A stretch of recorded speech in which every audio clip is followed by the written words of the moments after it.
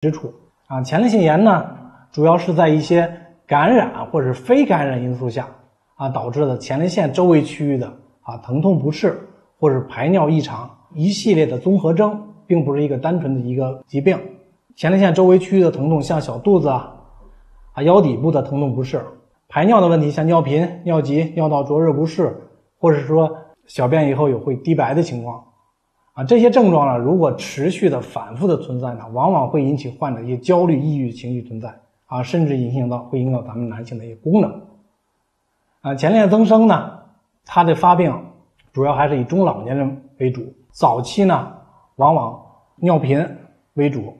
啊，夜尿增多，然后随着前列腺体积的增大，前列腺压迫会压迫尿道啊，引起一个排尿费劲呐，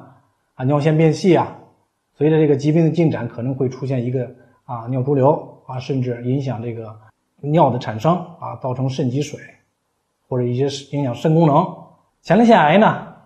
咱们讲前列腺癌，它的发病还有临床表现相对来说比较复杂啊。目前呢，它的发病原因呢，主要以啊，第一个就是跟人种啊不同地区的这种发病率不一样。第二个呢，发病年龄。第三个呢，可能跟家族有关系。啊，如果你这个家族中你出现这个有前列腺癌的亲属，